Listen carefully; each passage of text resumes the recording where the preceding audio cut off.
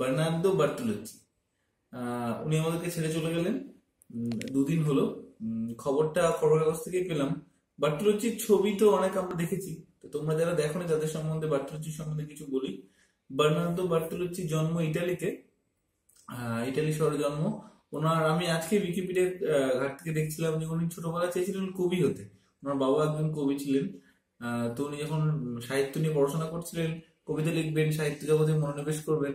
তো সেই সময় পাসোলিনির কাছে ওনার হাতে করি। পাসোলিনির হাতে সাথে উনি কাজ করতে যান এবং ছবি বানাতে শুরু করেন এবং খুব তাড়াতাড়ি উনি ছবি বানিয়ে ফেলেন।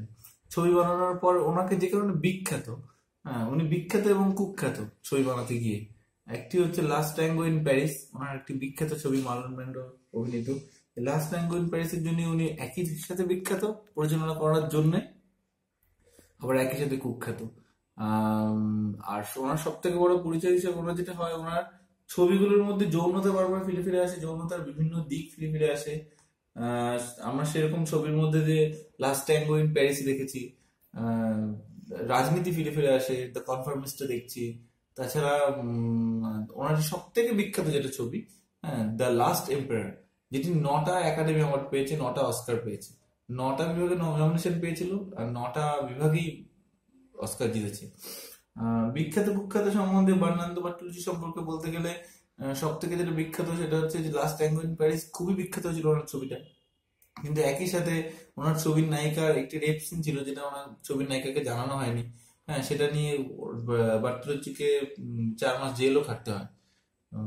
মার্লন ব্র্যান্ডো অভিনয় করেছিলেন এবং মার্লন আর এবং বার্টুলুচি দুজনেই জানতেন। অভিনেতা এবং ডিরেক্টর জানতেন রেপ সিনটির ব্যাপারে। খুবই এরোটিক একটি সিনেমা হিসেবে অনেক জায়গাতে নিন্দিত হয় আবার প্রশংসিত হয় অনেক ক্রিটিক মহলে। লাস্ট টাইম প্যারিসের ট্রেলারটা আমরা দিয়ে দিচ্ছি, তোমরা দেখো। হ্যাঁ ছবিটাও পারলে অবশ্যই দেখো। ছবিটা আমার দেখা। দ্য ড্রিমার্স বলে একটি ছবি আছে, সেই ছবিটা আমার খুব প্রিয়। হ্যাঁ তোমরা এই ছবিটা দেখো দ্য ড্রিমার্স এর ট্রেলার দিচ্ছি।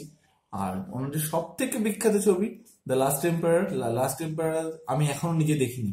হ্যাঁ এত প্রশংসা শুনেছি, অনেকের মুখে শুনেছি হ্যাঁ ন নটা অস্কার পেয়েছে লাস্ট এম্পায়ার তো আমি আজকে নিজেই দেখতে বসবো লাস্ট এম্পায়ার লাস্ট এম্পায়ার ট্রেলারও তোমাদেরকে দিচ্ছি।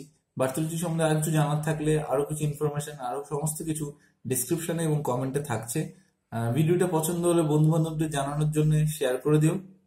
আর অবশ্যই কমেন্ট করো। বার্তুলজি সম্পর্কে আমার কিছু জানা থাকলে আমি তোমাদেরকে আরও জানাব। বা তোমরাও কিছু জানলে আমাকে জানিও। হ্যাঁ আর আমাদের অবশ্যই চ্যানেলটা সাবস্ক্রাইব করো। হ্যাঁ কারণ আমাদের অনেক ভিউ হচ্ছে। আমাদের শেয়ারও হচ্ছে কমেন্টও হচ্ছে, কিন্তু খুব কিছু জনই মাত্র এখন পর্যন্ত সাবস্ক্রাইব করেছে। প্রায় দশ হাজারের কাছাকাছি আমরা পৌঁছতে চলেছি, কিন্তু সাবস্ক্রিপশন এখন অনেক কম। তো প্লিজ সাবস্ক্রাইব করো সাবস্ক্রাইব ফ্রি হ্যাঁ সাবস্ক্রাইব করো। নেক্সট ভিডিও নিয়ে আমরা খুব তাড়াতাড়ি আসছি কয়েক ঘণ্টার মধ্যেই।